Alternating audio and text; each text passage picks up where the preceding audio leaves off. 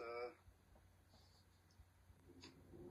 warm greetings from uh, Kathmandu, Nepal. Uh, I'm ambassador at large. My name is uh, Ratna, Ratna from Kathmandu, Nepal. And uh, I'm, I'm, very glad to be here at this global platform, meeting all the president and all the, our committee members of this uh, wonderful um, platform, which everybody raising the hands of the humanity and the issues of the world issue, affairs and issues. And the uh, President has already explained in detail and the ins and outs of the uh, issues that's been uh, raising and has to be solved.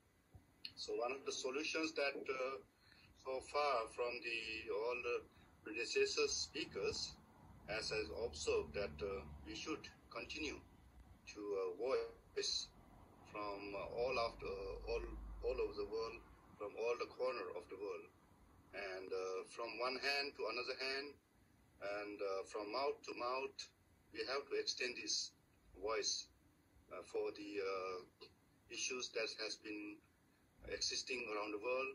So hope that one day our voice can be heard, though UN having double standard and the uh, issues of different uh, agendas. So hope that our organization can help an individual from different countries and different nations uh, continue to raise the, the voice for this uh, humanity and the voice for the justice and the solidarity that has to be uh, continuously make effort. So thank you very much again.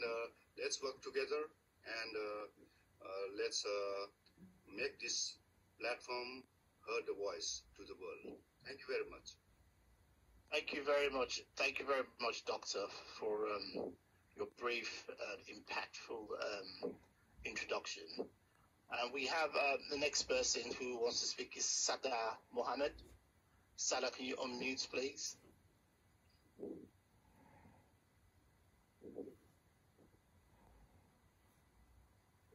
Sada, can you unmute and speak, please?